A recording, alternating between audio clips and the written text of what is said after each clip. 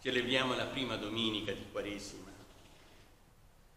Sappiamo bene che la Quaresima è un periodo di 40 giorni che ci prepara alla Santa Pasqua.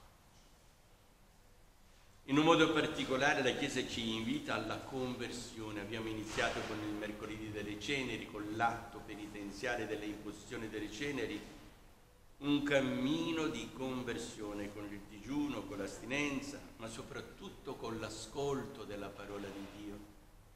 Quella parola di Dio che ci invita a ritornare a Lui. Laceratevi il cuore, non le vesti. Ritornate a me, dice il Signore, così nel profeta Gioele. Ritornare al Signore. Allora tutta la Quaresima è un cammino di ritorno al Signore che ci aspetta, che ci dà anche la grazia di poterlo incontrare. Perché il, la cosa più triste del mondo è quando noi non incontriamo Dio nella nostra vita. Perché Dio può anche nascondersi dalla nostra vita. Quando noi diamo adito a tutte le nostre passioni e pensiamo con il nostro orgoglio di farcela da soli, beh, quello è il momento veramente terribile della nostra vita. Nella prima lettura abbiamo ascoltato dal libro della Genesi l'alleanza che Dio ha fatto con Noè. Questo è il segno dell'alleanza che io pongo tra me e voi e ogni essere vivente che è con voi per tutte le generazioni future. Pongo il mio arco sulle nubi perché sia il segno dell'alleanza. Tutta la Sacra Scrittura è la storia dell'alleanza noi chiamiamo anche la Sacra Scrittura il Vecchio e il Nuovo Testamento. Che cosa significa la parola testamento? Significa alleanza. Dio continuamente rinnova questa alleanza con l'uomo e in Gesù si compie l'alleanza. Fra poco noi ascolteremo questo è il mio corpo, questo è il mio sangue, il calice della nuova ed eterna alleanza, nuova ed eterna, definitiva alleanza in Gesù. La parola alleanza significa patto, significa a un certo momento una decisione reciproca da parte di Dio, da parte dell'uomo. Voi sarete il mio popolo, io sarò il vostro Dio. Se voi osservate la legge, dice Dio a Mosè, ecco io sarò il vostro Dio, sarò il vostro liberatore, sarà la vostra benedizione. Voi vivrete nella verità, nella gioia, nella luce e sarete fecondi. L'alleanza.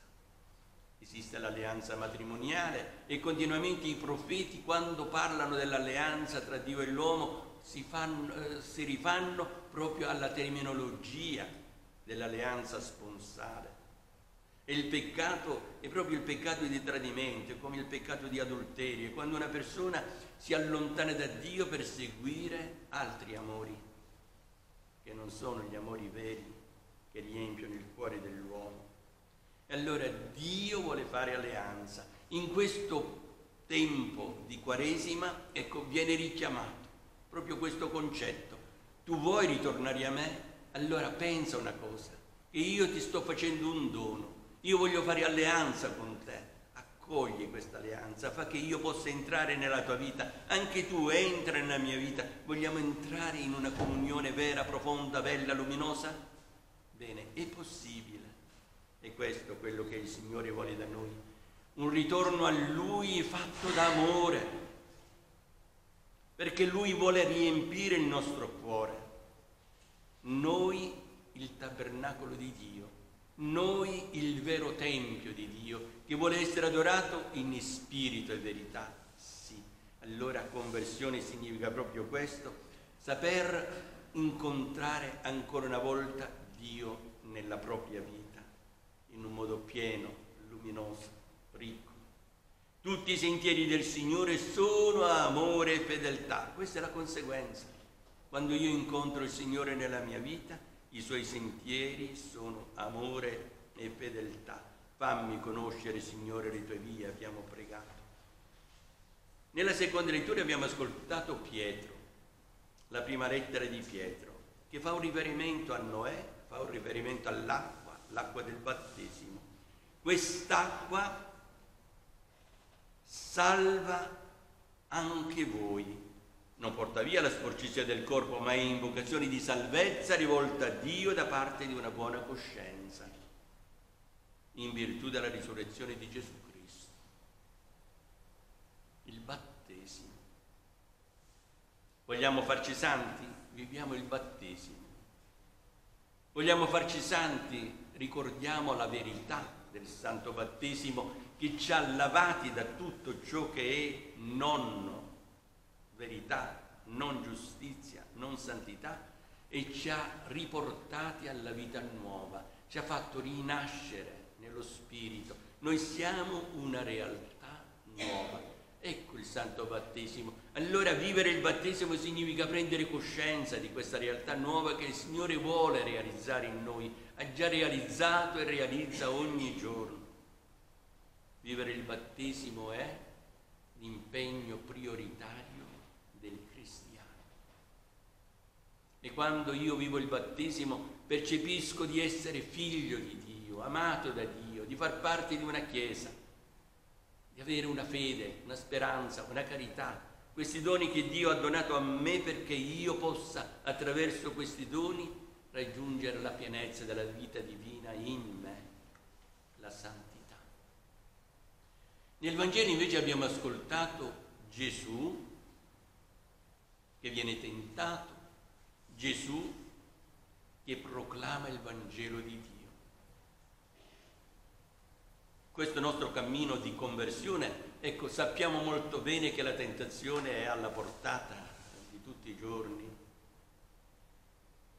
Anche Gesù, per amore nostro, ha accettato di essere tentato. Notate, lo Spirito, lo Spirito Santo, sospinse Gesù nel deserto e lì fu tentato da Satana. Potremmo benissimo anche interpretare che la tentazione in Gesù è come una volontà di Dio. Così anche la tentazione nella nostra vita non viene da Dio la tentazione, nessuno dice, dica che Dio tenta, dice San Giacomo, allontanici dalla tentazione, diciamo nel Padre nostro, è il diavolo che porta la tentazione, genera la tentazione. Però la tentazione fa parte della pedagogia di Dio. Superando la tentazione, ossia la prova, noi possiamo dare testimonianza a Dio della nostra fedeltà e nello stesso tempo noi cresciamo nella vita dello Spirito dopo aver superato la prova. Superare la tentazione è come fare palestra nella nostra vita che ci fortifica ma Gesù ha superato la tentazione facendo sempre riferimento alla parola di Dio. Abbiamo ascoltato, non di solo pane vivrà l'uomo, ma di ogni parola che esce dalla bocca di Dio. E allora, in questo processo di conversione, la parola di Dio deve avere una sua centralità. Gesù proclamò il Vangelo dicendo il tempo è compiuto, il regno di Dio è vicino, convertitevi e credete al Vangelo. Sono quattro espressioni che sono tutte collegate l'una all'altra. Il tempo è compiuto, è il tempo della grazia, è il tempo della misericordia, è il tempo della salvezza. Ecco, Dio attraverso Gesù proclama, questo è il momento della tua salvezza, questo è il momento del tuo recupero, questo è il momento della tua crescita, il momento importante della tua vita perché c'è questo regno di Dio che è vicino. Regno di Dio sarebbe la stessa presenza di Gesù nella vita dell'uomo, nella storia. Dio è vicino, ecco perché il tempo è importante, recepire l'importanza di questo momento, di questo kairos, di questo momento di grazia. Dio è presente, è presente nella tua vita e proprio per questo convertiti. Ma notate, questa conversione è in primo luogo una conversione di fede. Convertiti a questo Dio che è vicino a te.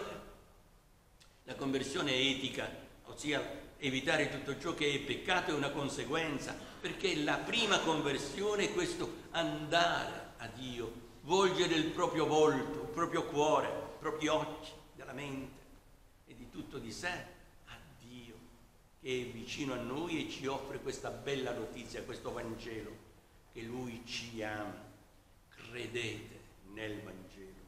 Una conversione di fede, dicevamo, sì, credete. Gesù quasi insiste su questo tema. La cosa più importante è credere. Prima ancora della stessa prassi della vita è credere. La prassi poi sarà una conseguenza di questo credo in questo Dio che ci offre questa bella notizia che Lui è vicino a noi. Nelle prossime domeniche ascolteremo altri motivi che devono essere alla base di questo cammino di fede verso il Signore. Abbiamo iniziato dicendo Dio ci invita, ritornati a me con tutto il cuore. E il cuore, la centralità del cuore. E ancora una volta noi ti diciamo, Signore, dal profondo del nostro cuore, grazie, grazie che ci chiami. Amen. Amen.